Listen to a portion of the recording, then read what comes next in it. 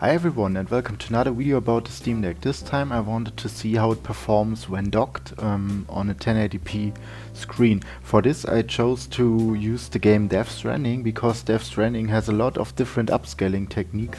FSR 1, FSR 2 and even the new Intel XeSS um, which is based on AI upscaling.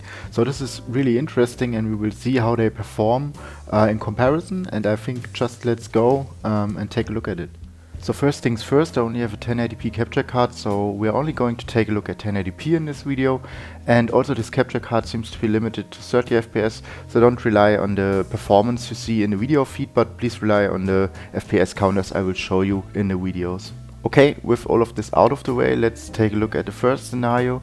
Here we have the game running at 720p native, simply upscaled by bilinear upscaling, so basically what your TV will do um, if the resolution is not matching your TV screen, and simply upscaling to the 1080p resolution here, which uh, in this case you would see the game looks a little bit soft already. So when we now bring FSR1 in the mix in the balance setting here, you can already see that the image at least looks a little bit sharper. It's still definitely not looking as native 1080p, but um, I think the, for the same amount of frames you get here, you definitely get already a better result than just simple bilinear upscaling. So if we now bring FSR2 in the mix, you can already see that the image looks much higher resolution than FSR1 or of course the bilinear upscaling However, this is the balance mode and you can also see that we are dropping uh, to around 40 FPS, which is of course a disadvantage at this point, but in my opinion, at least here standing still, the image quality is much higher and definitely worth the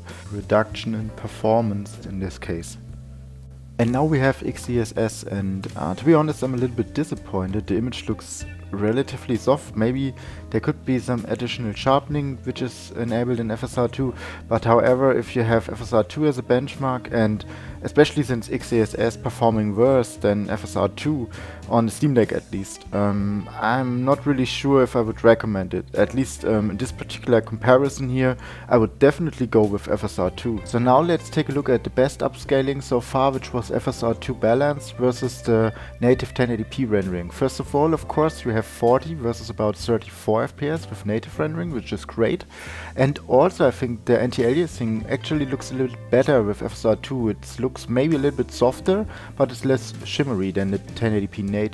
So in my opinion, it's a pretty nice thing. Keep in mind, of course, we're looking here at still images, um, so I could line it up better uh, in direct comparison. Of course, if you're moving and um, changing camera view and so on, you may suffer from a little bit of artifacts, especially with these FSR2 and XeSS upscaling. But yeah, I still think it's a great um, technology, especially for Steam Deck and Steam Deck in dock mode, as we were trying to achieve here. And I think with FSR2 you could actually use the Steam Deck dock, the, the 1080p screen, and still get a pretty decent um, resolution and image quality, and all of this uh, usually at around 30 FPS, even if a heavy demanding game like Death Stranding is. So yeah, to summarize then all of this video, I think FSR2 is probably the most interesting technology as of now for the Steam Deck. XeSS so far doesn't perform very well and doesn't look that great. Maybe this is subject to change of course, who knows, um, but at least for Death Stranding, I would definitely go with FSR2 um, on the Steam Deck, especially if I want to uh, plan to using it docked. Um, as uh, shown in this video. Um, but yeah, let me know about your thoughts about this upscaling stuff. Uh, do you use it in on your Steam Deck or do you have any thoughts about it? Let me know in the comments below and may see you in some of the next videos. Bye for now.